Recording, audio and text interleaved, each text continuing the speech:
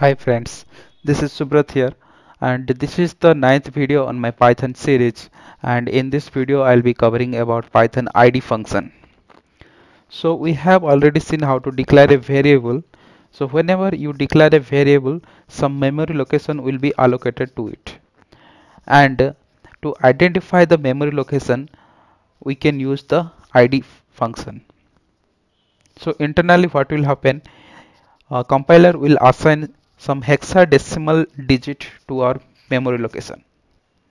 So to find out what is the exact memory location for that variable we can use the id function. So let us see with some example and to understand how to use the id function. So here I have already declared some variables and I want to see what is the memory location of each variable so let's see by using the id function. So I can print the memory location and I will need to pass the variable name as an argument to my id function.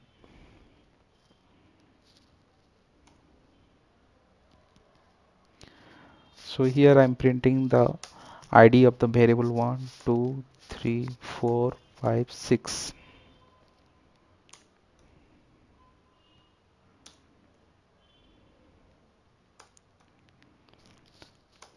5 and last 6 so here we can see that uh, internally some memory location has been allocated to each variable. These are the id of that memory location. So you can find that. So each variable has been assigned with some different id that means some different memory location has been assigned to each variable. So this is the simple id function which we can use normally to differentiate what is the memory location if two variable is sharing same memory location or not.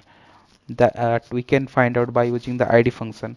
So this id function i'll be using in my uh, upcoming tutorials to explain uh, dif to differentiate between two variables whether they are sharing same memory location or not. So friends this is all about the id function and in the upcoming tutorials i'll be explaining other concepts of Python. Thank you.